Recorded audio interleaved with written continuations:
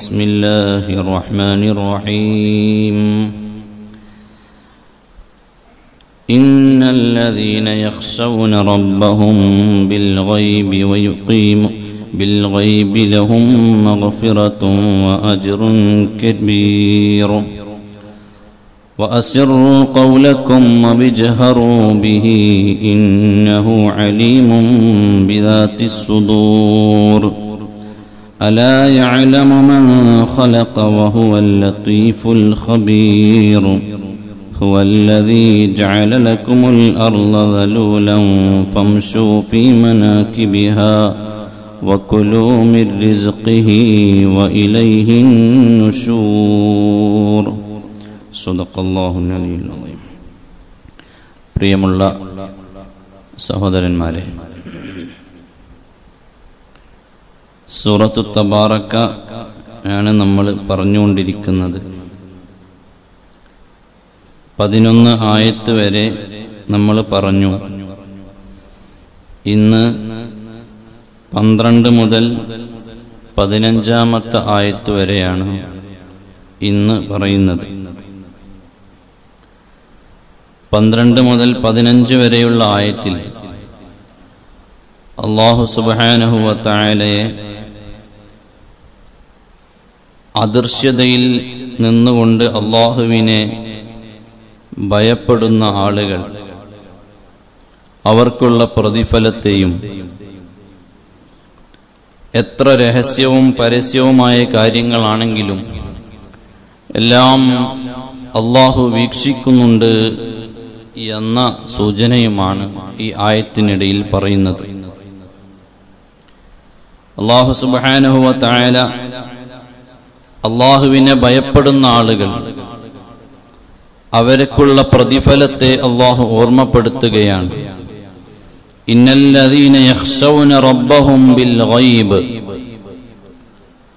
ഒരു വിഭാഗം ആളുകൾ റബ്ബഹും അവര് അവരുടെ റബ്ബിനെ ഭയപ്പെട്ടിരിക്കുന്നു ബിൽ ഗൈബ് അദൃശ്യമായ കാര്യങ്ങളെ കൊണ്ട്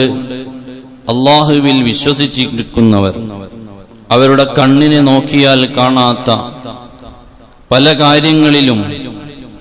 അവർ വിശ്വസിച്ചിരിക്കുകയാണ് അള്ളാഹുവിനെ അതിൽ വിശ്വസിച്ച് ഭയക്കുന്ന ഒരു വിഭാഗം ആളുകൾ ലഹും കബീർ അത്തരക്കാരായ ആളുകൾക്ക് അള്ളാഹുവിന്റെ മഹഫിറത്ത് ലഭിക്കും വ അജറുൻ കബീർ അയിൽ ജന്ന അവർക്ക് നല്ല പ്രതിഫലവും സ്വർഗം അവർക്ക് പ്രതിഫലമായി അള്ളാഹു നൽകുകയും ചെയ്യുമെന്ന് പന്ത്രണ്ടാമത്തെ ആയത്ത് ഇതാണ് ഇവിടെ അള്ളാഹുവിനെ ഭയപ്പെടുന്ന ആളുകൾ വൈബ് അദൃശ്യമായ കാര്യങ്ങൾ അദൃശ്യപരമായ കാര്യങ്ങളിൽ അള്ളാഹുവിനെ ഭയപ്പെടുന്ന ആളുകൾ എന്നാണ് പറയുന്നത് മഹാന്മാരായ മുഫസരിങ്ങൾ അദൃശ്യപരമായ കാര്യങ്ങൾ കൊണ്ട് എന്നുള്ളയിടത്ത് വിശദീകരണങ്ങൾ നൽകിയിട്ടുണ്ട് എന്താണ് വൈബ് എന്ന് പറഞ്ഞാൽ എന്ന് ഒന്നാമതായി മഹാന്മാരായ മുഫസരിങ്ങൾ പറഞ്ഞത് വൈബ് അള്ളാഹുവിന്റെ ശിക്ഷകളെ നമ്മൾ അറിഞ്ഞിട്ടില്ല അള്ളാഹുവിന്റെ വരാനിരിക്കുന്ന നമ്മുടെ മരണം നമ്മൾ അറിഞ്ഞിട്ടില്ല കബർ ജീവിതം എന്താണെന്ന് നമ്മൾ അറിഞ്ഞിട്ടില്ല മഹ്ഷറായിൽ നടക്കുന്ന ഓരോ ഓരോ കാര്യങ്ങളെയും നമ്മൾ കണ്ടിട്ടില്ല അങ്ങനെയുള്ള വൈബിയായ മറഞ്ഞ കാര്യങ്ങളിൽ അള്ളാഹുവിൽ വിശ്വസിച്ച് അവനെ ഭയപ്പെടുന്ന വിഭാഗം എന്നാണ് വൈബിയായ കാര്യങ്ങൾ എന്ന് പറഞ്ഞതുകൊണ്ട് ഖുർആൻ ഉദ്ദേശിച്ചത് എന്ന് മുഫസരിങ്ങൾ ഒരു അഭിപ്രായം രണ്ടാമതായി അദൃശ്യപരമായ കാര്യങ്ങൾ എന്നുള്ളത് കൊണ്ട് ഉദ്ദേശിക്കുന്നത് എന്താണ്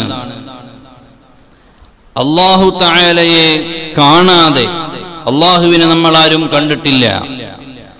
ആ അള്ളാഹു ഉണ്ട് എന്ന് പറയുന്നു അള്ളാഹുവിനെ നമ്മൾ കണ്ടിട്ടില്ല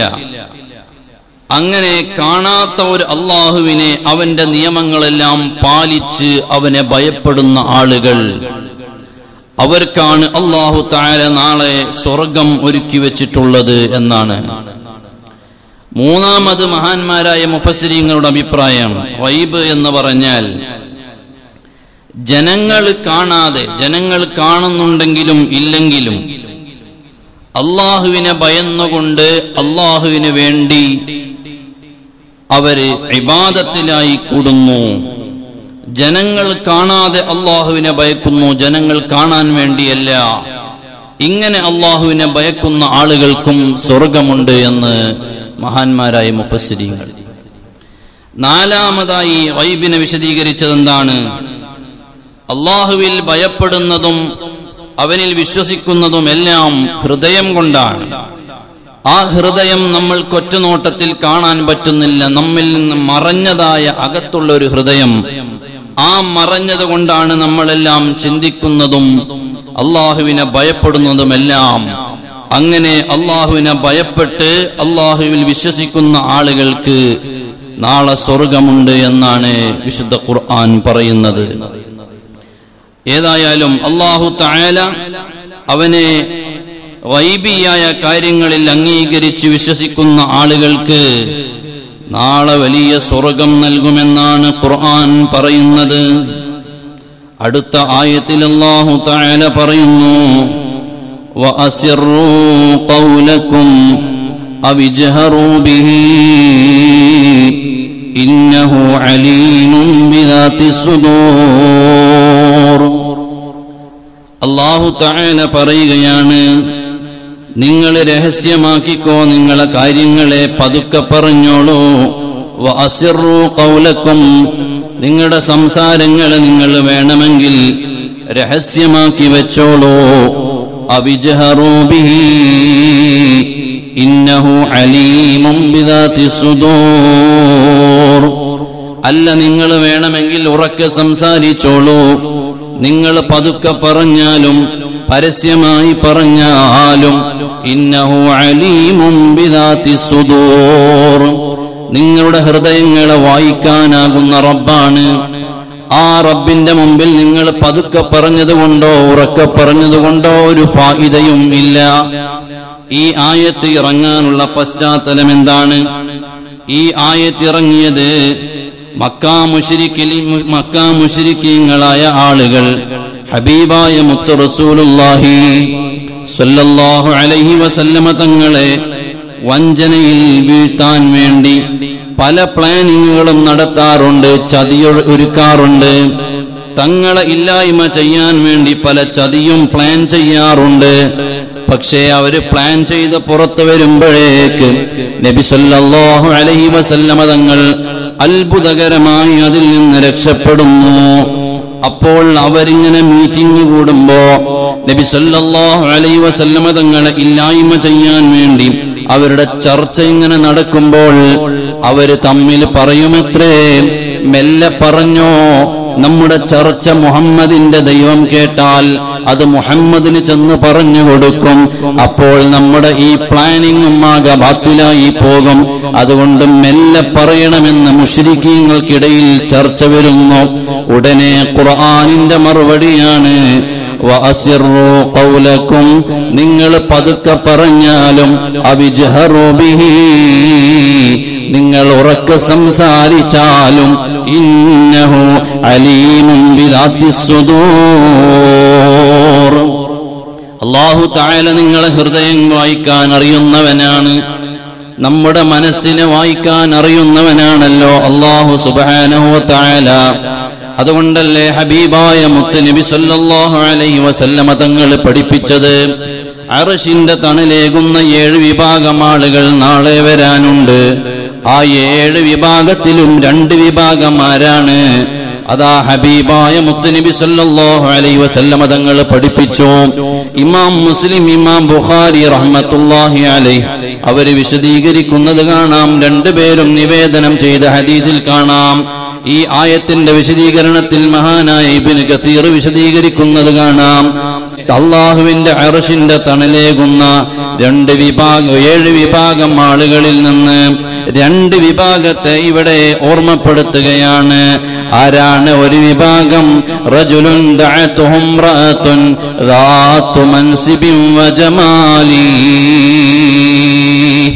നല്ല ഭംഗിയുള്ള ഒരു പെണ്ണ് വന്നിട്ട് വ്യഭിചാരത്തിലേക്ക് വിളിക്കുകയാണ് അങ്ങനെ വിളിക്കുമ്പോൾ അതാ അപ്പോൾ ആ പുരുഷൻ പറയുന്ന മറുപടി എന്താണ് ഫക്കാല ഇന്നി അഹാഫുല്ലാ ഞാൻ അള്ളാനെ ഭയപ്പെടുന്നുണ്ട് ഞാൻ വ്യഭിചാരത്തിലേക്ക് വരുന്നില്ല എന്റെ റബ്ബെന്നെ കാണുന്നുണ്ട് എന്റെ രഹസ്യങ്ങളെയും പരസ്യങ്ങളെയും അറിയുന്ന റബ്ബാണ് ആ റബ്ബ് എന്നെ അറിയുന്നുണ്ട് എന്ന് പറഞ്ഞ് വ്യഭിചാരങ്ങളിൽ നിന്ന് അശ്ലീലങ്ങളിൽ നിന്ന് അരുതായ്മകളിൽ നിന്ന് പിന്മാറി വരുന്നവന് നാളാറഷിന്റെ തണലുണ്ട് എന്ന് ഹബീബ് മുത്ത് റസൂലുള്ള സല്ലല്ലാഹു അലൈഹി വസല്ലം ഈ ഹദീസിന്റെ പൊരുൾ അള്ളാഹു താല രഹസ്യങ്ങളെല്ലാം വായിക്കുന്നവനാണ് എന്നാണ് നബിസല്ലാഹു അലൈഹി വസ്ലമ തങ്ങൾ പഠിപ്പിക്കുന്നത് അങ്ങനെ അള്ളാഹു രഹസ്യം വായിക്കുന്നവനായതുകൊണ്ട് ആരും അറിയാത്ത ഇടങ്ങളിലാണെങ്കിലും അരുതായ്മകളിലേക്ക് പോകാൻ എന്റെ മനസ്സനുവദിക്കുന്നില്ല അങ്ങനെ നിങ്ങൾ അള്ളാഹുവിന്റെ ആ അള്ളാഹു താല നമ്മുടെ കൽബിലുള്ള നിലയും അറിയുന്നുണ്ട് എന്ന ചിന്ത വെച്ച് നിങ്ങൾ അരുതായ്മകളിൽ നിന്ന് മാറിയാൽ നാളെ ആരുഷിന്റെ തണലുണ്ട് എന്ന് ഹബീബ് മുത്ത രണ്ടാമതായി തങ്ങൾ പറഞ്ഞു സ്വതക്ക കൊടുക്കുന്ന ആളുകൾ ും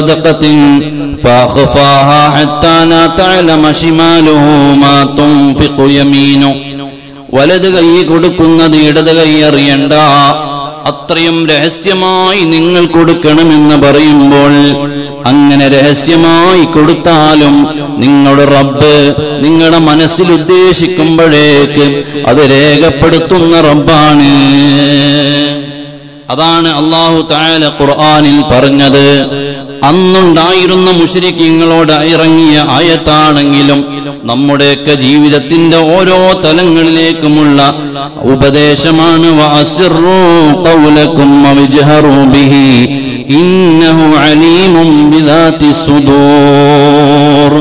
അള്ളാഹു താല ഹൃദയം വായിക്കുന്നവനാണ്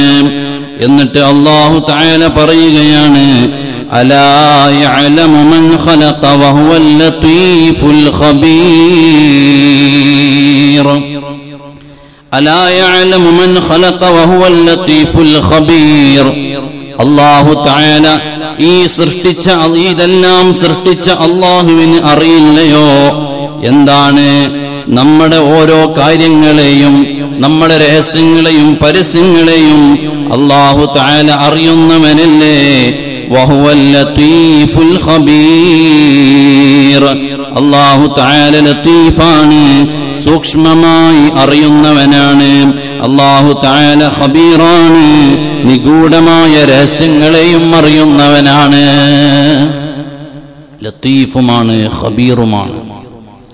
സൂക്ഷ്മമായി അറിയുന്നവനാണ് അള്ളാഹു ലത്തീഫ്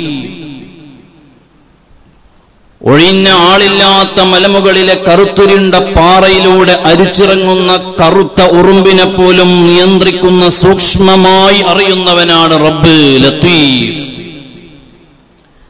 അള്ളാഹു താല ഹബീറാൻ എല്ലായിടങ്ങളുടെയും ബാഹ്യവും ആന്തരികവുമായ എല്ലാവിധ വിജ്ഞാനവും അറിവും ഉള്ളവനാണ് അള്ളാഹു തആല ലത്തീഫാണ് ഹബീറാൻ ലത്തീഫ് എന്ന ഇസ്മിന് പവിത്രതയുണ്ട് ഖബീർ എന്ന ഇസ്മിന് അള്ളാഹുവിന്റെ അസ്മാഉൽ ഹുസ്നയിൽ പെട്ടതാണ് ഇതൊക്കെ അതിന് വലിയ പവിത്രതയുണ്ട് മഹാനായ ഇമാം ഷബ്രാവി റഹ്മത്തുല്ലാഹി അലൈഹി അവിടുത്തെ ഷറഹു അസ്മാ ഇല്ലാഹി ലുസ്ന എന്ന ഗ്രന്ഥത്തിൽ പറയുന്നത് കാണാം നിങ്ങൾക്ക് വേദനയിൽ നിന്ന് നിങ്ങൾക്ക് മുക്തി നേടണമെന്നുണ്ടെങ്കിൽ ലത്തീഫ് യാ ലത്തീഫ് യാ അല്ലാ നൂറ്റി തവണ നിങ്ങൾ ചൊല്ലിയാൽ വേദനകളിൽ നിന്ന് നിങ്ങൾക്ക് മുക്തി നേടാം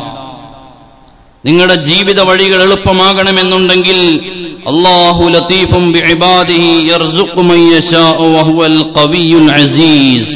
എല്ലാ ദിവസവും ഒമ്പത് തവണ ചൊല്ലിയാൽ നിങ്ങളുടെ ജീവിത വഴികളെല്ലാം എളുപ്പമാകും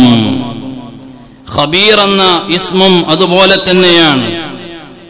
ആരുടെയെങ്കിലും ഉപദ്രവങ്ങൾ ഏറ്റുവാങ്ങുന്നുണ്ടെങ്കിൽ അവന് നന്നാകണമെന്നുണ്ടെങ്കിൽ യാ അള്ളാഹു യാ ഹബീർ യാ അള്ളാഹ് എന്ന് നമ്മൾ ദിക്കർ വർദ്ധിപ്പിച്ചാൽ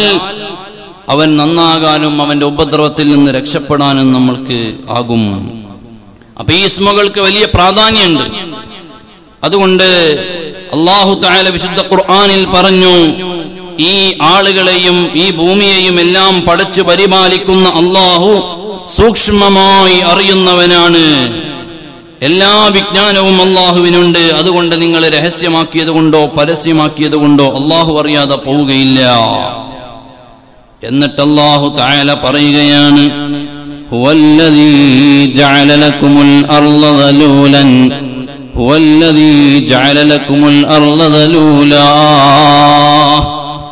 അള്ളാഹു الذي ആരാണ് ജഅല ലക്കുമുൽ അള്ളാഹു താല ഈ ഭൂമിയെ ഈ ഭൂമിയെ നമുക്ക് വിധേയപ്പെടുത്തി തന്നിരിക്കുകയാണ് അള്ളാഹു താല മനുഷ്യർക്ക് ഈ ഭൂമിയെ വിധേയപ്പെടുത്തി തന്നിരിക്കുകയാണ് ഈ ഭൂമിയിലൂടെ സഞ്ചരിക്കാൻ ആ ഭൂമിയുടെ മുകളിലൂടെ ആ ഭൂമിയുടെ പാർശ്വഭാഗങ്ങളിലൂടെ നടന്നു പോകാൻ സഞ്ചരിക്കാൻ അള്ളാഹുവിന്റെ ഭക്ഷണങ്ങളിൽ അതിൽ നിന്ന് കഴി ഭക്ഷിക്കാൻ അള്ളാഹുവിലേക്കാണ് പിന്നീട് നിങ്ങൾ മടങ്ങുന്നത് പിന്നെ നിങ്ങൾ പുനർജന്മം നടത്തി വരുന്നത് നിങ്ങൾ കബറിലേക്ക് പോയി നിങ്ങളുടെ ജസായിന് വേണ്ടി പ്രതിഫലത്തിന് വേണ്ടി അള്ളാഹുവിലേക്കാണ് നിങ്ങൾ വരുന്നത് ഈ ആയത്ത് വലിയ അർത്ഥമുള്ള ആയത്താണ് എന്താണ് അള്ളാഹു താല പറഞ്ഞതിന്റെ ഉദ്ദേശം ഈ ഭൂമിയെ നിങ്ങൾക്ക് അള്ളാഹു താല വിധേയപ്പെടുത്തി തന്നിരിക്കുന്നു എന്താ നമ്മളതുകൊണ്ട് മനസ്സിലാക്കിയത് ആ ഭൂമിയിലൂടെ സഞ്ചരിക്കാൻ ആ ഭൂമിയിൽ നിങ്ങൾക്ക് ഭക്ഷണം കഴിക്കാൻ നിങ്ങൾക്ക് ജീവിക്കാൻ എല്ലാം അള്ളാഹു സംവിധാനിച്ചിരിക്കുന്നു നിങ്ങൾ നോക്കൂ എത്ര സംവിധാനങ്ങളെയാണ് അള്ളാഹു നമുക്ക് നൽകിയിട്ടുള്ളത് ഭൂമി എന്ന് പറയുന്നത് മനുഷ്യവാസത്തിന് ഏറ്റവും ഉചിതമായ ഏകഗ്രഹമാണ് ഭൂമി എന്ന് പറയുന്നത് ശാസ്ത്രവും കണ്ടെത്തിയത് അങ്ങനെ തന്നെയാണ് ജീവൻ നിലനിൽക്കുന്നത് ആയിട്ട് ശാസ്ത്രം കണ്ടെത്തിയത് ഏകഗ്രഹം അത് ഭൂമിയാണ് ആ ഭൂമിയെ അള്ളാഹു താല സംവിധാനിച്ചത് നിങ്ങൾ നോക്കൂ അള്ളാഹു ഖുർആാനിൽ പറയുന്ന ആ വാക്ക് എത്രയാണ് അതിന് വലിയ ഗാംഭീര്യമുണ്ട് അതിന്റെ അർത്ഥം നമ്മൾ ചിന്തിക്കുമ്പോൾ സൂര്യനിൽ നിന്ന് നമ്മളിലേക്ക് വരുന്ന സൂര്യപ്രകാശം ആ സൂര്യപ്രകാശത്തിൽ ആ കിരണങ്ങളിൽ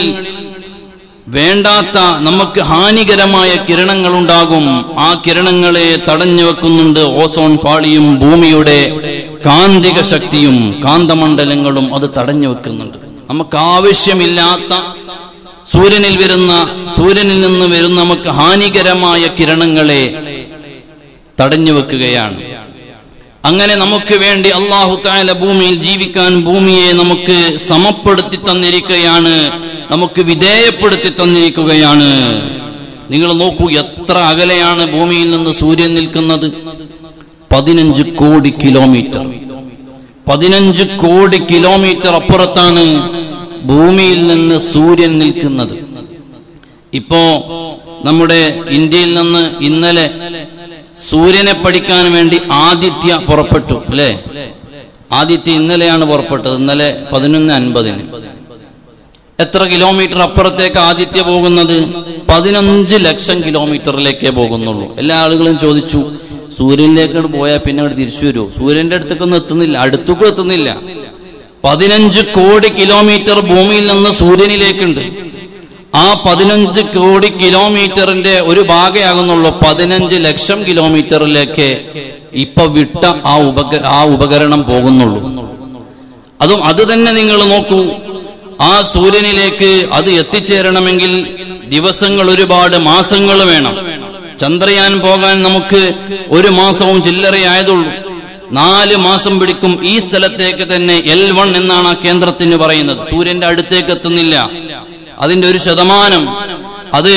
നക്ഷത്രങ്ങളുടെയും മറ്റുള്ള ഉപഗ്രഹങ്ങളുടെയും ഗുരുത്വാകർഷണത്തിന്റെ സന്തുലിതാവസ്ഥയിലെത്തുന്ന അങ്ങോട്ടും ഇങ്ങോട്ടും ആകർഷണങ്ങളില്ലാത്ത ഒരു ഏരിയ ആ ഏരിയ വരെയാണ് ഇത് പോകുക അപ്പൊ അതിന്റെ സന്തുലിതാവസ്ഥ കിട്ടും അവിടെ നിലനിൽക്കാൻ അതിന് എൽ വൺ എന്നാണ് അതിന് പറയുന്നത് ആ എൽ വണ്ണിൽ നിന്ന് പതിനഞ്ച് ലക്ഷം കിലോമീറ്റർ ഭൂമിയിൽ നിന്ന് പോയിട്ട് അവിടെ നിൽക്കുകയാണ് പതിനഞ്ച് കോടി കിലോമീറ്റർ ഉണ്ട് സൂര്യനിലെത്താൻ എത്രയോ ഉണ്ട് അപ്പൊ അവിടെ അത്രയും വിദൂരത്ത് നിന്ന് സൂര്യനെ പഠിക്കാനും വീക്ഷിക്കാനുമാണ് ഇന്ന് ശാസ്ത്രം ഒരുങ്ങിയത് എന്നാൽ അള്ളാഹു സുബാനഹു തായാല അത്രയും ഇനി ഒന്നുകൂടെ ഞാൻ നമ്മുടെ സൂര്യനും ചന്ദ്രനും ഒക്കെ ഭൂമിയുമായി എത്ര വിട്ടുനിൽക്കുന്നു എന്നതിന് ഒന്നുകൂടെ മനസ്സിലാക്കാൻ ഞാൻ പറയാം സൂര്യനിൽ നിന്നൊരു പ്രകാശരശ്മി ഭൂമിയിൽ എത്തണമെന്നുണ്ടെങ്കിൽ അഞ്ഞൂറ് സെക്കൻഡാണ് എന്ന് പറഞ്ഞാൽ എട്ട് മിനിറ്റും ഇരുപത് സെക്കൻഡും എട്ട് മിനിറ്റും ഇരുപത് സെക്കൻഡും വേണം സൂര്യനിൽ നിന്ന് പ്രകാശം കൊണ്ട് പുറപ്പെട്ടാൽ ഭൂമിയിലെത്താൻ അതേ സമയത്ത് ചന്ദ്രനിൽ നിന്നാണെങ്കിലോ ഒരു സെക്കൻഡ് ഒന്നേ പോയിന്റ് മൂന്ന് സെക്കൻഡ് മതി അപ്പൊ ചന്ദ്രൻ എത്ര അടുത്താണ് സൂര്യൻ എത്രയോ വിദൂരത്താണ് എന്ന് മനസ്സിലായോ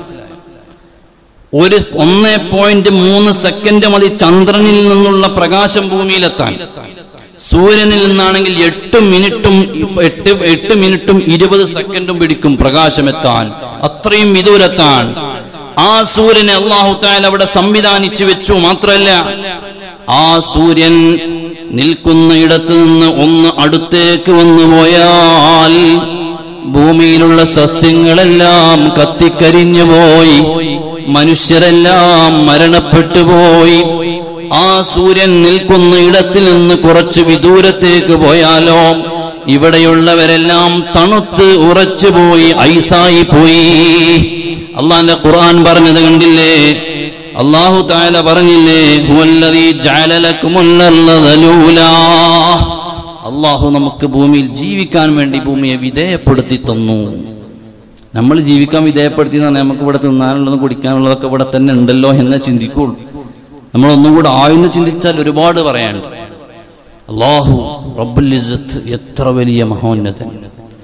എത്ര വലിയ മഹോന്നതൻ നിങ്ങൾ ആലോചിച്ചു നോക്ക് അപ്പോൾ അത്രയും വലിയ സംവിധാനം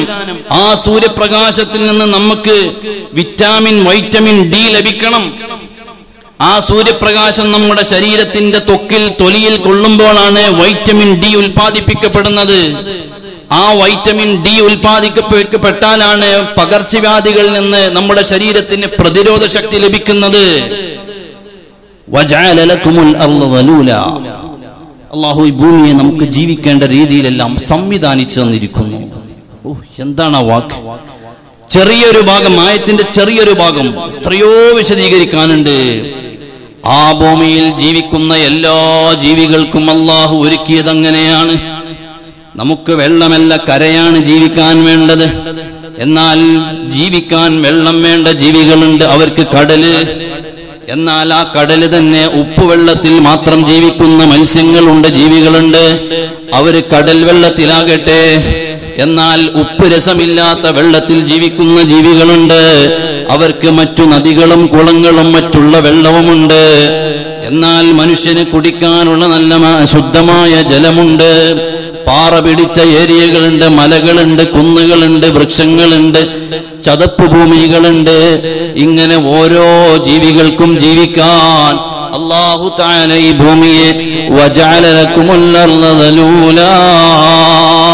സംവിധാനിച്ചു എന്നിട്ട് അള്ളാഹു താല പറഞ്ഞു ആ ഭൂമിയിലൂടെ നിങ്ങൾ ഇങ്ങനെ നടക്കണം നിങ്ങൾ സഞ്ചരിക്കണം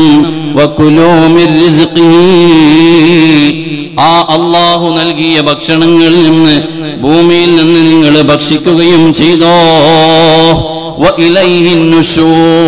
ഇതെല്ലാം ചെയ്യും പടച്ചോനെ മറക്കാൻ പാടില്ല അള്ളാഹുവിലേക്കാണ് നിങ്ങൾ പിന്നീട് പുനർജനിച്ചുകൊണ്ട് ഖബറിൽ നിന്ന് എഴുന്നേറ്റ് വരുന്നത് നിങ്ങളുടെ പ്രതിഫലങ്ങൾ നന്മ ചെയ്തവർക്ക് പ്രതിഫലത്തിന് വേണ്ടി തിന്മ ചെയ്തവർക്ക് ശിക്ഷയ്ക്ക് വേണ്ടി നിങ്ങൾ എഴുന്നേറ്റ് വരുന്നത് വിശുദ്ധ ഖുർആൻ ഓർമ്മപ്പെടുത്തുകയാണ് അതുകൊണ്ട് പ്രിയമുള്ളവരെ ഈ ആയത്തുകളിൽ അള്ളാഹു തായാല ഓർമ്മപ്പെടുത്തുന്നത് രഹസ്യമായാലും പരസ്യമായാലും അള്ളാഹു തായാല നമ്മോട് പറഞ്ഞ കാര്യങ്ങൾ അള്ളാഹുവിനെ നമ്മൾ കണ്ടിട്ടില്ല അള്ളാഹു പറഞ്ഞത് മുഴുവനും നമ്മൾ കണ്ടിട്ടില്ല വൈബിയായി കൊണ്ട് തന്നെ വിശ്വസിച്ച് അള്ളാഹുവിനെ ഭയപ്പെടുന്ന ആളുകൾക്ക് നാളെ സ്വർഗമുണ്ട് പാപങ്ങൾ അവർക്ക് പുറത്തു കൊടുക്കുന്നുണ്ട് രഹസ്യത്തിലും പരസ്യത്തിലും അള്ളാഹുവിനെ ഭയപ്പെടണമെന്നാണ് അള്ളാഹു നമുക്ക് ഈ ഭൂമിയിൽ ജീവിക്കാനുള്ള എല്ലാ സംവിധാനങ്ങളെയും ഒരുക്കിയിട്ട് അള്ളാഹു പറയുകയാണ് അള്ളാഹു സുബാനഹുവത്തായ അള്ളാഹുവിനെ ഭയപ്പെട്ട് ജീവിക്കുന്ന മുത്തക്കീങ്ങളിൽ മുഗ്മിനീയങ്ങളിൽ നമ്മെ എല്ലാവരെയും ഉൾപ്പെടുത്തി